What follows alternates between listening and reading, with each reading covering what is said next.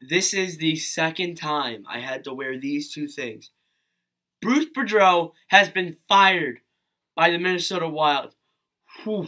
Oh my god. This is like the fifth, this is like at least the 10th coach that has been fired this whole season. And this is the fifth staff change on the channel. That's insane. Five coaches. I mean, not five. Ten coaches have been fired. And Bruce Bruce Boudreau was doing fine. The Wild were doing okay.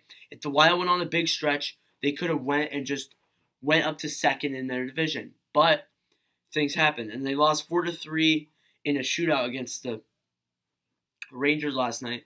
But that did get them a point. They're at 61. They're tied with Nashville. They can pass Nashville. And then Dallas is just two points behind them. They can pass Dallas, and all they got to do is work. And all they actually no, not not Dallas, Winnipeg if they pa- they can pass Winnipeg, and then they just have to score a lot of wins and get a lot of points to pass Dallas, and then they're third in the division, and then they're almost guaranteed a playoff spot. So yeah, they lose to the Rangers last night, and this surprised me. Like the Wild, the Wild are not doing too bad, and uh,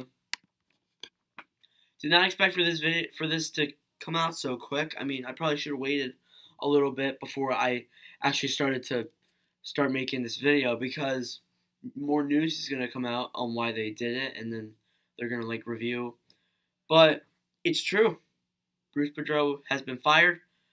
Um, I'm sure their American Hockey League coach will replace them. Will replace him for the alternate coach. So uh, I wonder what's going to go down there.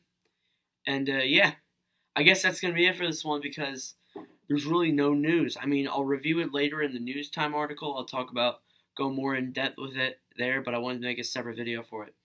So thank you guys for watching. You guys enjoy, please like, subscribe, and I will see you guys in the next one.